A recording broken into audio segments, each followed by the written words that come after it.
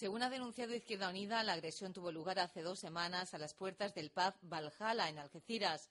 Un grupo de entre 15 o 20 encapuchados le propinó presuntamente una paliza a un joven que pudo escapar. El agredido y el dueño del local han presentado una denuncia por lo ocurrido ante la comisaría del Cuerpo Nacional de Policía. Por otra parte, durante los últimos tres días, los estudiantes que han organizado las protestas contra la LOMCE en Algeciras han recibido numerosas amenazas vía Twitter y otras redes sociales, amenazas que trasladaron a la policía. Precisamente ayer jueves, día de la manifestación, los agentes policiales lograron identificar al menos a seis integrantes de este grupo cuando intentaban reventar la manifestación.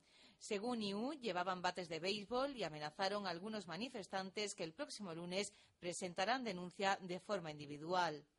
Ante estos hechos, Izquierda Unida ha mostrado su preocupación ante lo que parece ser un grupo organizado de ultraderechistas en la ciudad. Esto es una cosa ya grave, aquí estamos hablando de amenazas físicas de amenazas ciertas en persona y vía redes sociales y nosotros no nos vamos a quedar impasibles en esta cuestión y esperamos que el resto de los grupos políticos nos apoyen, nos apoyen en ello.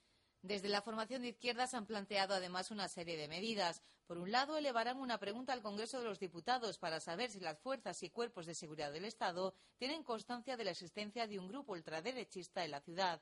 Asimismo, piden al Ayuntamiento que tome cartas en el asunto pedimos que, se lleve a cabo una junta de seguridad para que entre políticos y cuerpos de fuerzas de seguridad del Estado se puedan coordinar para actuar en este sentido y evitar que haya problemas en este aspecto.